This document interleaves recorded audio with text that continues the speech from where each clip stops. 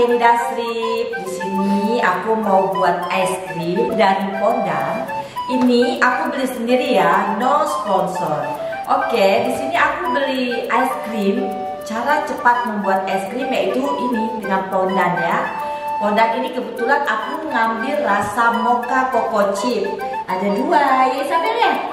Ya, di sini caranya gampang. Di sini sih disarankan hanya menggunakan air es atau susu dingin ya yang sudah didinginkan dan dikocok hanya 5 atau 10 menit dengan kecepatan tinggi.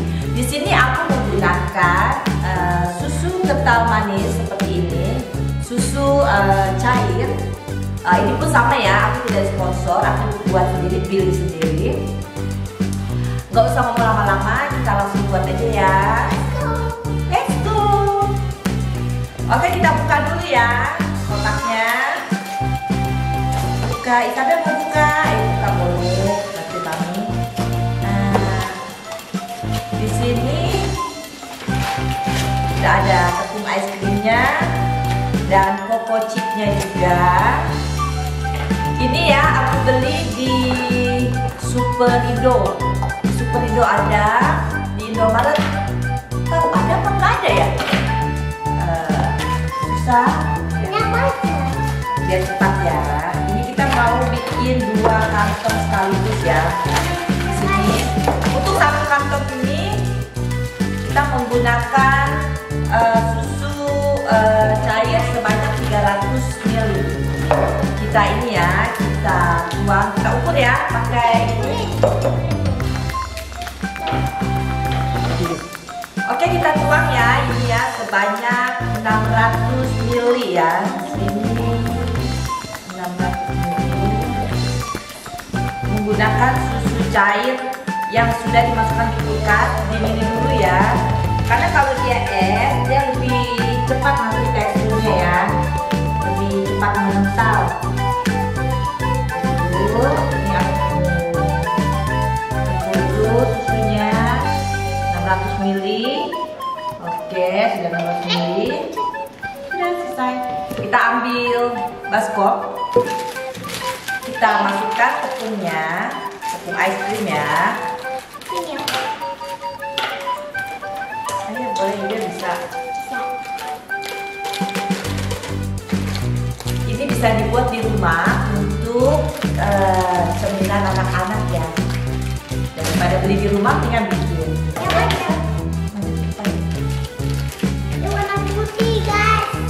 Ya, ini buat apa? Rasa mocha ya.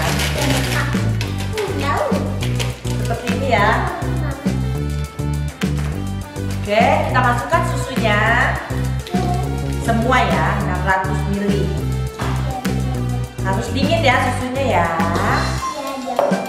Lalu kita mixer dengan kecepatan tinggi. Jadi uh, dulu ya karena dia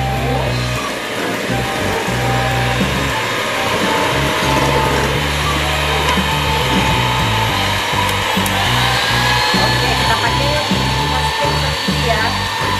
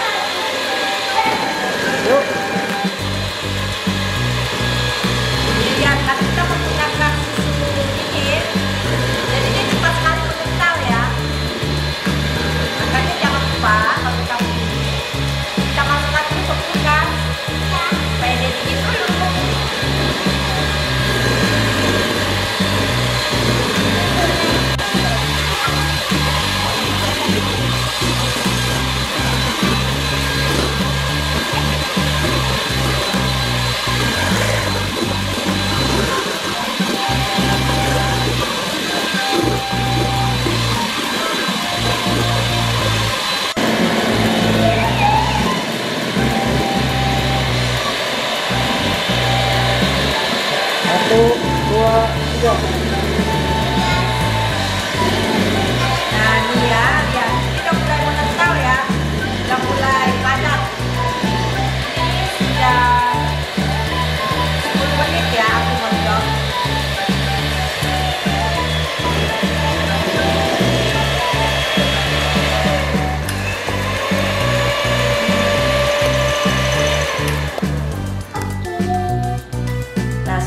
kalau kita angkat dia nggak jatuh ya tandanya. Dia sudah eh, creamy. Nah untuk itu kalau sudah begini kita aduk ya aduk rata ya. Jadi bawahnya. Oke. Lalu di sini aku ada eh, apa ini ya wadah ya. Siapkan wadah. Aku siapkan wadahnya dua ya, ya yang ada tutupnya seperti ini. Kita boleh tuang ya ke dalam eh, wadah ini. Tuang ya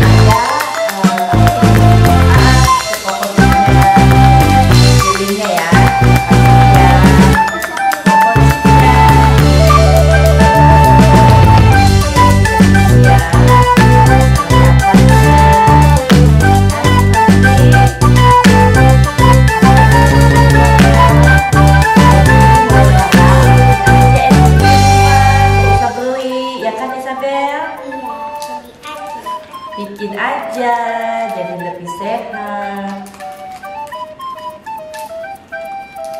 Ini lengkap loh, sudah sama koko chipnya segala ya.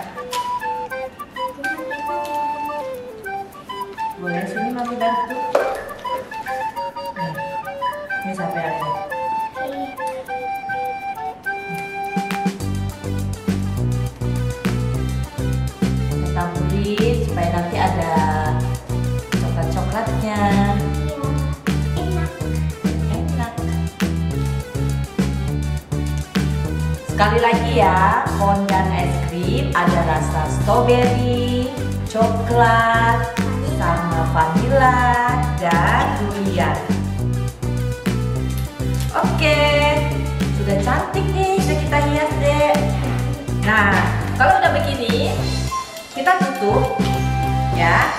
Kita tutup, lalu kita masukkan dia ke dalam freezer seperti ini ke dalam freezer selama 8 jam ya.